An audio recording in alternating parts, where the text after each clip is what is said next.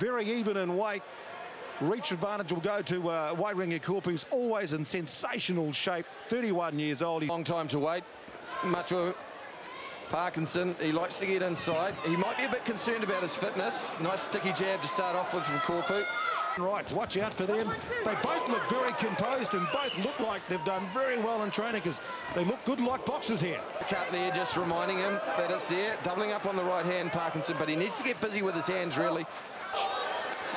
Oh, nice little starting slip to of the exchange. backhand there from Koopu. On about two. Good comeback here by Wairangi searching for the KO. Well, Stop, come out middle.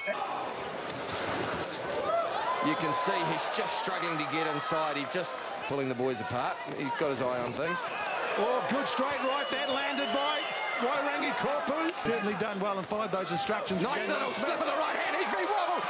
Parkinson holding on for dear life. To draw, basically. He's lost the first two rounds.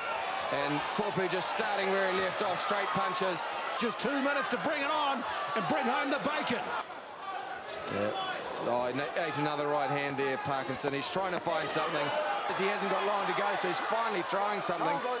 And he really needed to do this from round one. And I think the pig hunter's run out of petrol. He's certainly run out of time now. Red corner! Well, was it ever in doubt? Rugby one, League one.